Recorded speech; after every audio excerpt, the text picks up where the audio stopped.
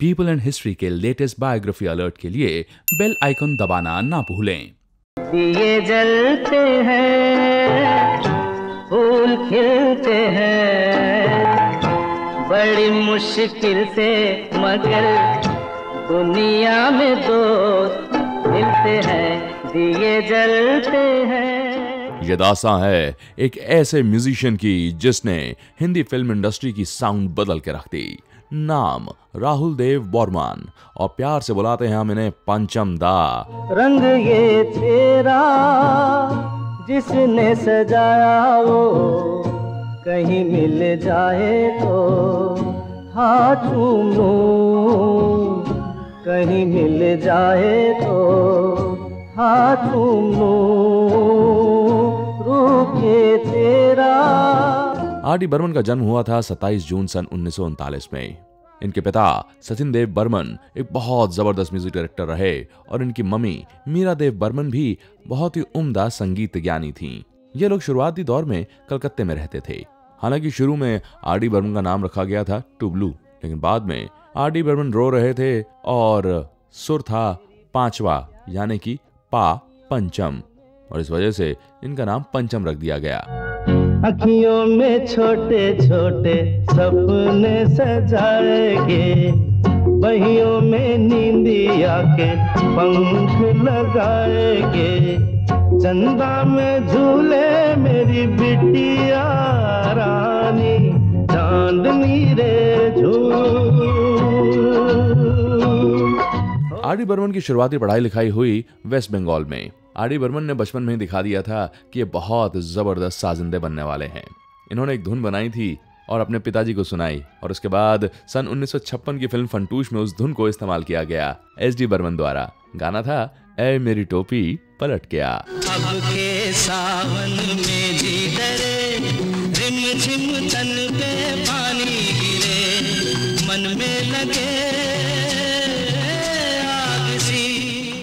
ये किस्सा भी मशहूर रहा कि जब आर डी बर्मन बहुत छोटे थे तो इन्हें सांस की तकलीफ़ थी, ठीक से बोल नहीं पाते थे, और गाने के लिए तो इन्हें मना ही कर दिया गया था, क्योंकि फेफड़ों में वो ताकत ही नहीं थी। और तब आर डी बर्मन से कहा गया कि तुम जाओ और कुएँ में तैरते रहो, रोज तैरोगे तो तुम्हारे फेफड़ों में ताकत आएगी।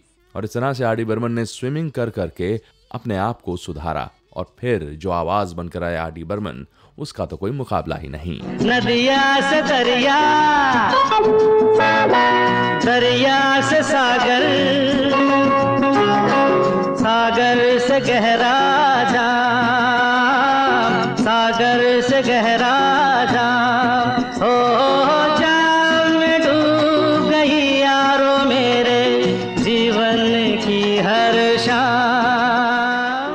आर बर्मन दरअसल हारमोनिका प्ले किया करते थे। और स्कूल के दिनों में ही इन्होंने एक दिन अपने पिता से कह दिया था कि मैं बड़े होकर आपसे भी बड़ा संगीतकार बनूँगा। वो और बात है कि जब पंचमदास धीरे धीरे बड़े हो रहे थे और इनके पिता ने पूछा था इनसे कि तुम बड़े होकर क्या बनना चाहते हो तो इन्होंने कहा था कि मैं साइकिल अच्छी चलाता हूँ, इसलिए बड़े होकर भी मैं साइकिल चलाने वाला ही बनूँगा। इनके पिता ने तब समझाया था कि देखो बेटा, मैं टेनिस बहुत अच्छा खेलता हूँ, लेकिन मैं टेनिस का खिलाड़ी नहीं, मैं संगीतकार बना तो तुम्हें भी एक चुनाव करना पड़ेगा। साइकिल चलाने और संगीतकार बनने के बीच में। तो तुम देख लेना, तुम्हें क्या बनना है। और यकीन चुनाव तो संगीतकार का ही हुआ। क्या प्यार तेरा? यही था सनम, हाय अल्लाह, इकरार तेरा। यही था सनम ला।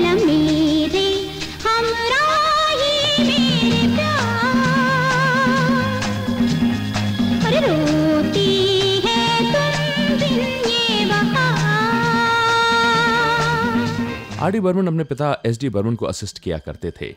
और तब, आर डी बर्मन के अच्छे दोस्त और महान फ़िल्म मेकर गुरुदत्त ने कहा था कि मैं पंचम को लेकर एक फ़िल्म बनाना चाहता हूँ। फ़िल्म का नाम रखा गया राज। और पहली बार आर डी बर्मन बतौर इंडिपेंडेंट म्यूज़िक डायरेक्टर काम करने वाले थे। हालाँकि इस बात से एस डी बर्मन बहुत दुखी थे। उन्हें लग रहा था कि गुरुदत्त इनके बेटे को बिगाड़ रहा है। इतनी जल्दी म्यूज़िक डायरेक्शन का ब्रेक नहीं मिलना चाहिए। थोड़ा और संघर्ष करना चाहिए पंचम को। और जीत एस डी बर्मन की ही हुई। फ़िल्म राज डिब्बे में बंद कर दी गई। उसके बाद सन 1961 में महान कॉमेडियन और एक्टर महमूद ने आर डी बर्मन को मौका दिया, जिसने इनकी किस्मत बदल के रख दी। फ़िल्म आई थी छोटे नवाब, जिसमें एक से बढ़कर एक गाने थे, और घर आजा, घिर आए बदरा, ये तो लता मंगेशकर ने गाया था। चंदा ओ, चंदा चंदा ओ, चंदा, किसने चुराई?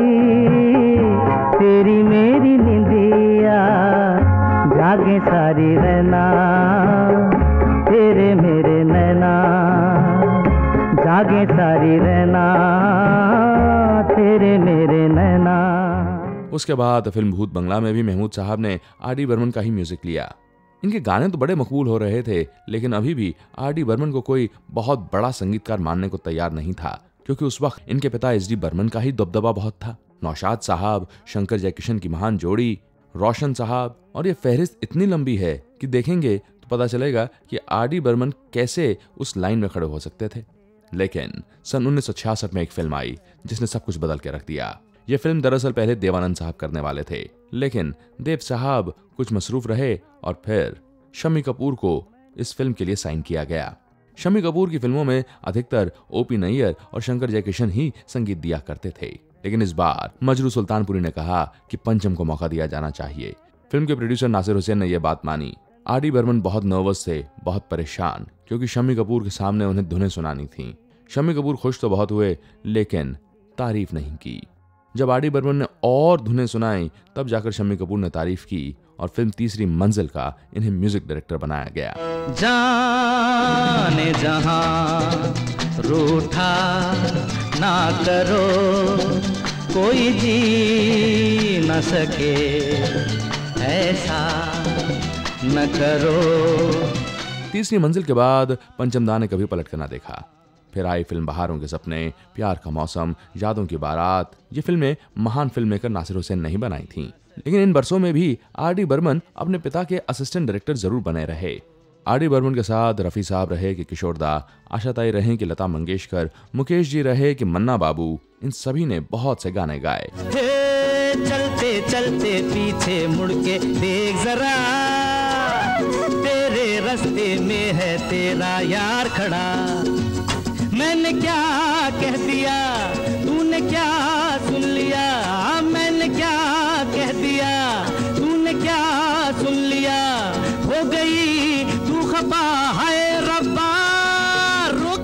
आर डी बर्मन के निजी जीवन की तरफ़ रुख करें तो हमें पता चलता है कि इनका विवाह हुआ था रीटा पटेल से। 1966 में शादी हुई और 1971 में तलाक भी हो गया और बाद में आर डी बर्मन और आशा भोसले की शादी की खबर भी आई।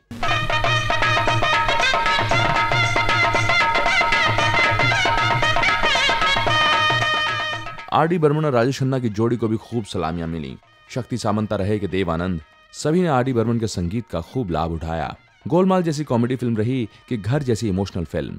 हर जगह आर डी बर्मन का संगीत सबके सर चढ़ के बोला।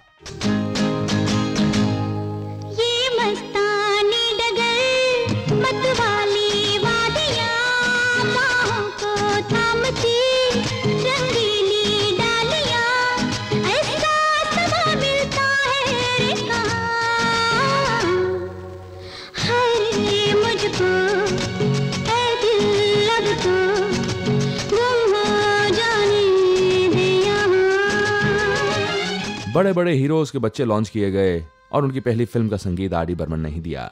चाहे वो कुमार गौरव रहे कि सनी देओल या फिर संजय दत्त। एक वक्त ऐसा भी आया जब आर डी बर्मन की 20 से लेकर 22 फ़िल्में लगातार फ्लॉप हुई। सुपरस्टार्स राजेश खन्ना और अमिताभ बच्चन को अच्छा म्यूज़िक देने के बावजूद आर डी बर्मन की तरफ़ कोई देखने को तैयार नहीं था। धीरे धीरे इनकी माली हालत भी बिगड़ी और मानसिक तनाव भी बढ़ता गया।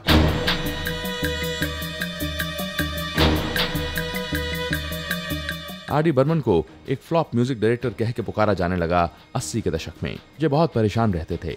दिल की बीमारी ने भी इन्हें पकड़ लिया था। इनके संगीत की तो इज़्ज़त होती थी, लेकिन कुछ फ़िल्म मेकर्स ने इन्हें साइन करके ड्रॉप कर दिया।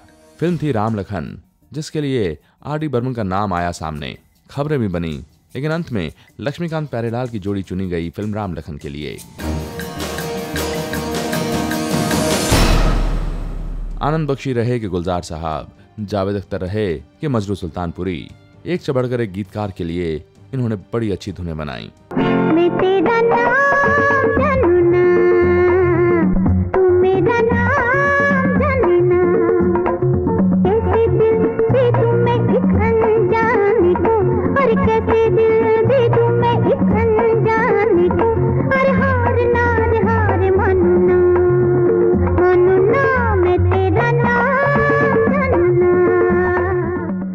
भारतीय शास्त्रीय संगीत और पाश्चात्य संगीत का मिश्रण आर डी बर्मन ने इस तरह से तैयार किया कि हर तरफ़ पंचम पंचम का ही बोलबाला था और नब्बे के दशक में विधु विनोद चोपड़ा की फ़िल्म आई 1942 a love story.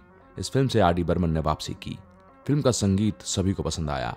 Are D Burman ने बता दिया था कि वो क्या है। जिस फ़िल्म इंडस्ट्री ने बड़ा तिरस्कृत किया था इन्हें, अब वो दोबारा इन्हें पुरस्कृत करने को तैयार थी। हर दिन सुहाना होगा।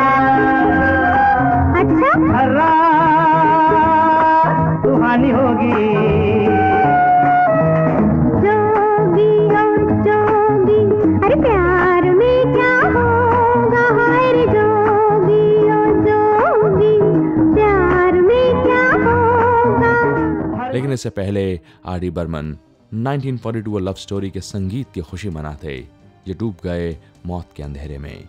4 जनवरी सन उन्नीस सौ आर डी बर्मन ने आखिरी साँसें ली और दिल का दौरा पड़ने के बाद इनकी मृत्यु हो गई। मैं शायर बदनाम हो मैं चला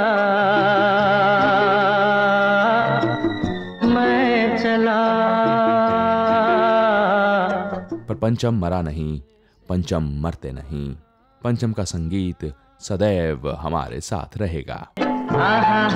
दिए जलते हैं फूल खिलते हैं दिए जलते हैं। महान प्रतिभाओं के जीवन के बारे में जानने के लिए सब्सक्राइब करें पीपल एंड हिस्ट्री।